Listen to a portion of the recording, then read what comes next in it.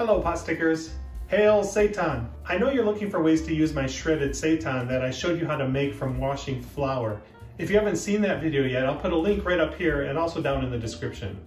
Today I'm going to share how I use it to make a shredded seitan chicken barbecue wrap with coleslaw. It's going to be fantastic. I'm going to show you how I do this all from scratch, but you can certainly use your favorite commercial barbecue sauce. Okay, let's start with the barbecue sauce.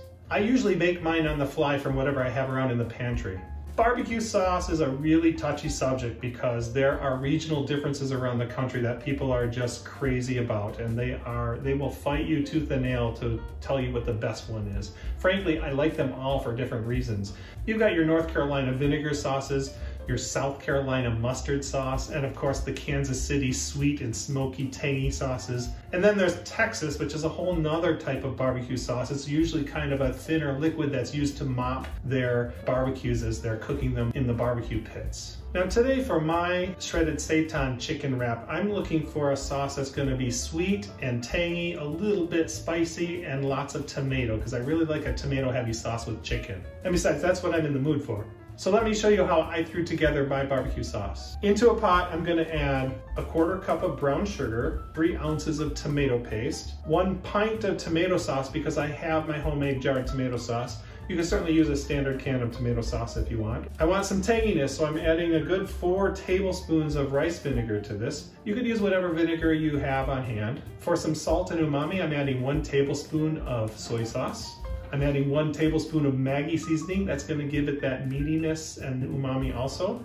I'm adding one tablespoon of maple syrup. This is gonna add a little bit more sweetness and a little complexity. And ketchup, yes, ketchup works well in barbecue sauce. It's got some sugar in it, it's got some tomato in it, it's got some spices in it, and I'm adding two tablespoons of ketchup to this. In goes one teaspoon of a spicy mustard. My homemade spicy mustard is really spicy. If you want more mustard, yours isn't quite as spicy, go ahead and add as much as you want. For more flavor, I'm adding one tablespoon of onion powder, one tablespoon of garlic powder, one tablespoon of smoked paprika to give some smokiness to this barbecue sauce, for some heat, I'm using half a tablespoon of some hot chili powder. You could use cayenne or whatever your favorite chili powder is. I'm adding a half a teaspoon of salt and a quarter teaspoon of black pepper. You want to mix this well and simmer it until it's reduced to the consistency that you want for your barbecue sauce.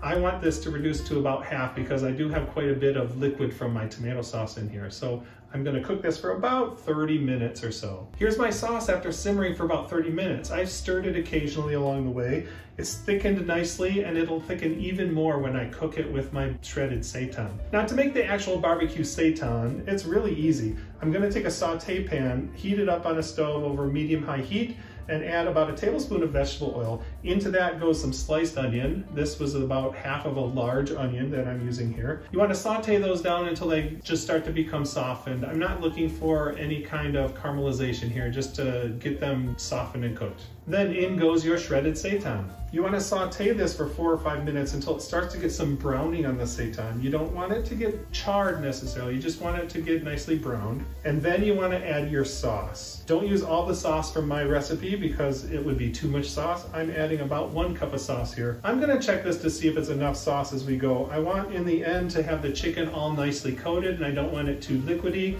but I don't want too much sauce that all you have is barbecue sauce. You want some texture from that shredded seitan. Keep stirring and sauteing this until the sauce tightens up and you have everything heated through. The chicken should be tender and juicy without a lot of saucy liquid left. You want to be careful not to overcook this because you don't want that sugars in that sauce to burn, so watch it carefully. If it does get too dry, you can always add in a little bit of water just to loosen it back up. Now for the wrap, I'm using a large sized flour tortilla that I made myself. You can use a tortilla or your favorite wrap from your local store, of course. You don't have to make your own. I'm just crazy that way.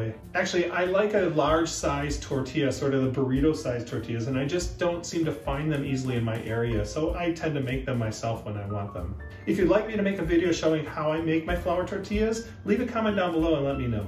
To assemble the wrap, just place a portion of the barbecued seitan near the edge that you're gonna start rolling it from. You don't want it in the middle of the wrap add some coleslaw. I'm using my homemade, no mayo, tangy tahini coleslaw. If you want that recipe, take a look at this video. Feel free to use whatever your favorite coleslaw recipe is. I'm sure it'll be delicious. When I make my wraps, I like to fold the sides in first and then wrap, pulling the ingredients in tightly to make a tight wrap and roll it up. And here you have it, a delicious barbecue seitan wrap. Believe me when I tell you these did not last long. We devoured them quickly. This is just one of the ways that I use my seitan shreds. They are so versatile and there's a lot of things you can do with them. I'll be bringing you more recipes using this soon. How do you like to use your washed flour seitan? Let me know down in the comments. Thank you so much for watching. Give this a thumbs up if it was helpful for you and we'll see you next time as the pot thickens. And that's a wrap, pun intended.